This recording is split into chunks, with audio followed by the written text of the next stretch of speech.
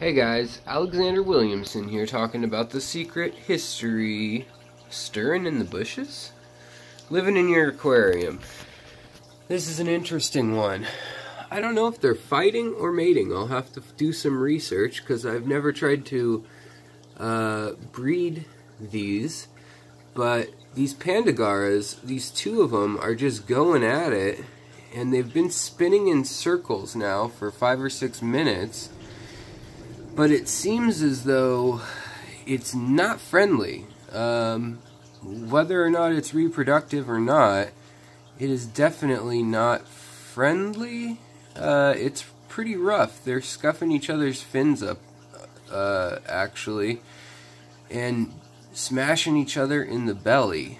So, I don't know if this is a mating thing or not, but I thought I'd capture it on film for you guys, uh, just so that you could see it. Uh, hopefully I'll be able to shed some light on it and I can come back and uh, let you guys know.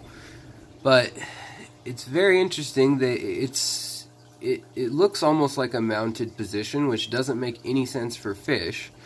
And then they go into spinning each other, smacking each other either in the gill or in the belly. And if it's in the belly, that's similar to uh, the T shape that that uh, you know Cory catfish do, but there's these moments of pausing at the same time, so I don't really know what's going on. Um, there's six of them in here, so as you can see, they're not the only ones. There's more just swimming around doing their own thing uh, out and about. But these two in particular have decided that they're going to go at it. But they seem to both be exhibiting the same movements, which is interesting. Because usually if you've got a male and a female, you got one trying to get on top, or one headbutt the other one, or whatever. But these two are definitely both just very animated in the in whatever's going on here. If this is a dominance thing versus if this is a mating thing. I'm gonna venture to guess that it's a mating thing, um, but I don't know. It's uh, kind of mesmerizing. I kind of want to break it up at the same time. Um, but one definitely has brighter orange colors. They're definitely starting to scuff each other's scales up. And I'm always kind of uh, in a in a limbo, a National Geographic sense limbo of do you intervene and or do you quote unquote let nature happen?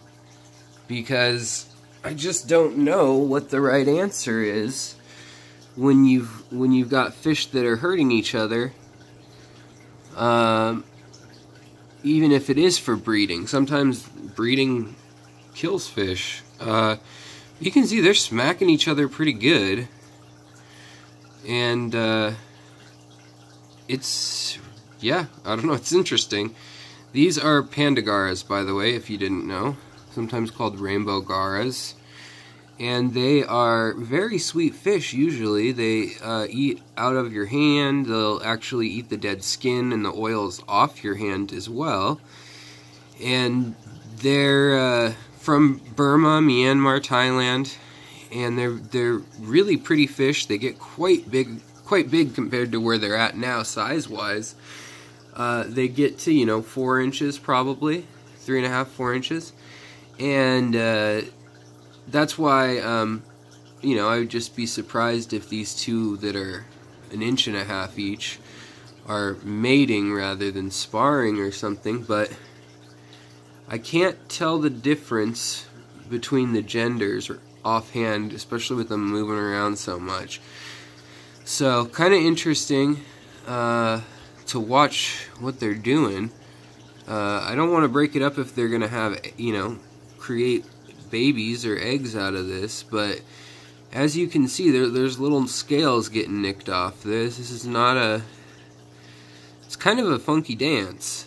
You'd think one would leave if, if it wanted to, so that's why I'm not gonna break it up, but they're almost in like a little knot or merry-go-round of movement. So very interesting. Also, their eyes are yellow, so it kind of almost looks like snakes fighting or something. I don't know. It's interesting. See that that motion there tends to make me think that it's a mating behavior, without having ever seen this before, just because uh, you see that belly nudge going on, but seeing it go on both ways. It's mostly the one with the cream tips on its tail on just the very corners rather than all the way across that is that is uh, doing that slamming with the head the lighter silver one.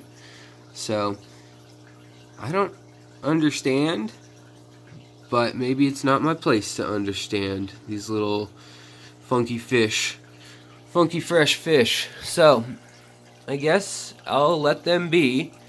And I just wanted to share that kind of interesting. I've not seen fish do this uh, pattern or this activity ever.